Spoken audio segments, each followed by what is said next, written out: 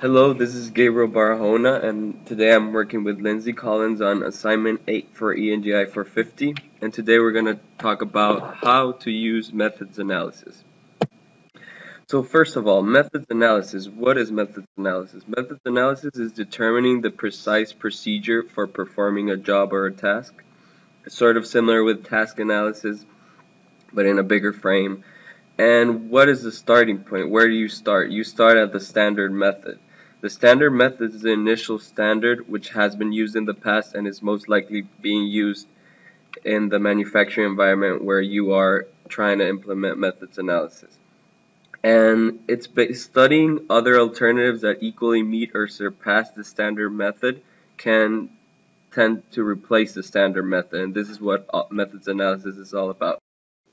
The three methods analysis that we're going to talk about today are charting, workspace design, and finally we'll talk about motion economy. The first charting was used as a visual mapping of operations. It was developed by Frank and Lillian Gilbreth, uh, who are known to be the founders of industrial engineering, as they worked on methods um, analysis through charting.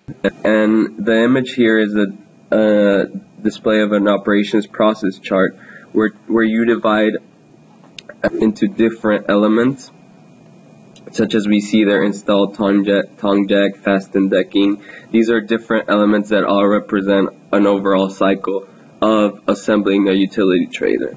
Beside an operations process chart, there are also other charting techniques such as a flow process chart, a multiple activities chart, and a PERT chart. For example, let's take into account a PERT chart. PERT chart are program evaluation and review technique charts, and you label the arcs with task durations, and the task must be decomposed into functional areas.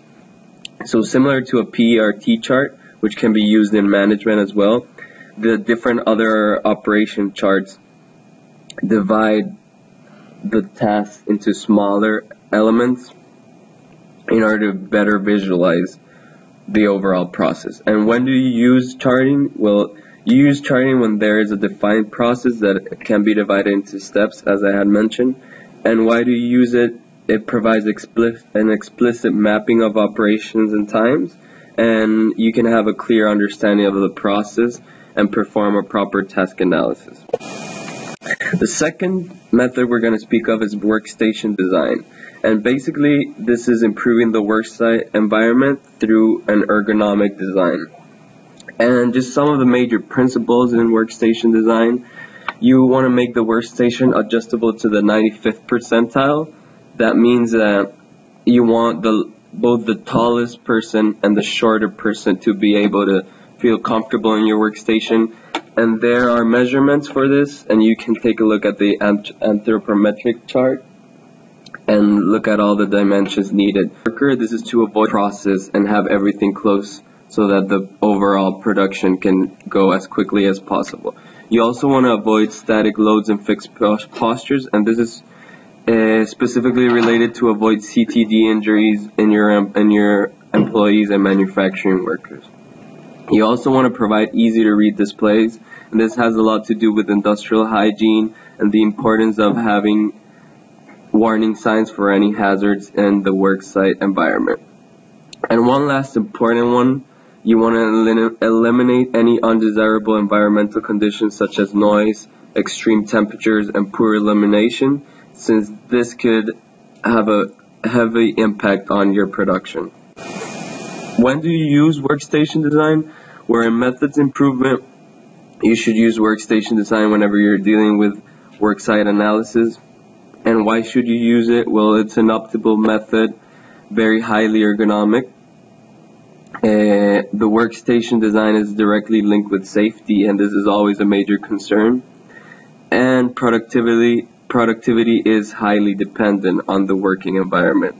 We're going to talk about the principles of motion economy, and this is another section of methods analysis. So, when should you use motion economy? Uh, there's three main reasons why you would use this. First, uh, when you're at in any environment determining what hand slash body movements um, are, are appropriate for a certain worker uh, depending on what tasks. It's also important when determining appropriate work physiology and also when dealing with the use of hand and tool equipment uh, and the motions that go along with using these uh, tools and equipment. So there's also a couple reasons why we would want to use motion economy in general. Motion economy uh, is used to save money by making motions more efficient, uh, and it also saves time, which um, in turn saves money for the company. Also, uh, we want to note that this doesn't necessarily guarantee optimal performance, but it's guideline for improving performance and motion in general. So the way that um, motion economy is performed is through um, the implementation of a list of principles. And we're going to go through the 16 principles uh, briefly of each of the um, motion economy. Um, so the first one is two hands should begin and complete their motions at the same time. And this is talking about um, the topic of counterbalance and how the hands need to have the same amount of tasks going on at the same time to be efficient. The second um, principle is that two hands should not be ideal at the same time. Uh, a good example of this is typing on the computer. Obviously, your right hand doesn't do all the work or have a majority of the important letters, but the keyboard is set up so that both hands are have an equal amount of work to do and letters to type. The third and fourth principles go along with postural freedom, and the third is a person should be able to maintain an upright position during work. And also, work activity should permit the operator to adapt a variety of healthy postures.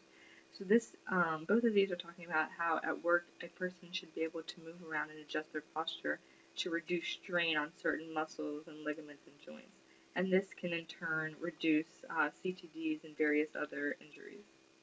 The fifth principle, like the first principle we talked about, and it says that the motions of the arm should be made in opposite and symmetrical directions simultaneously.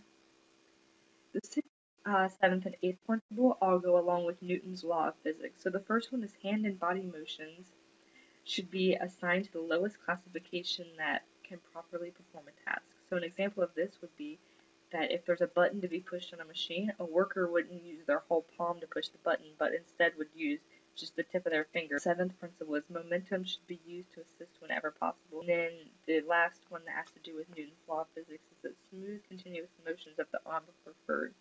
And this is uh, talking about the principle that says a body in motion tends to stay in motion.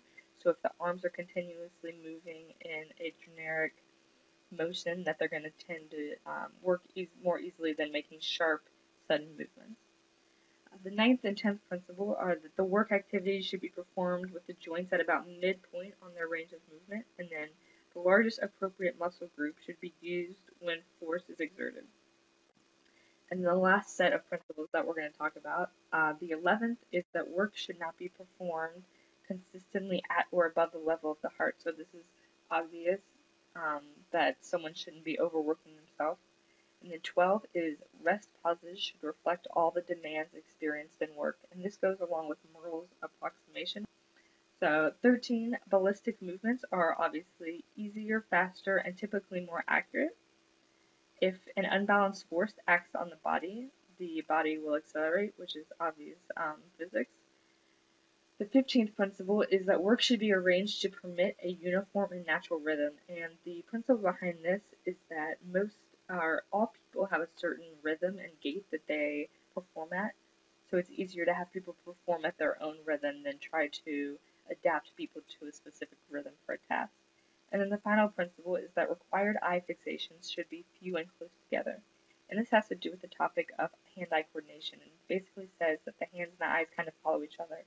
So the less fatigue that the eyes experience, then in turn the hand will experience less fatigue as well. So an example of how you could perform motion economy goes back to the example of Murrell's approximation. So the um, example we're going to look at here is that a specific employee is doing 3,800 kilocalories. That's how much um, calories they're burning per shift, and they work for eight hours. So obviously, eight hours is 480 minutes that they're working, and they're allowed 15% of their time is um, breaks, which is 72 minutes. So you divide the overall kilocalories divided by the time they're working. So we determine that 9.3 kilocalories are burned per minute by this employee.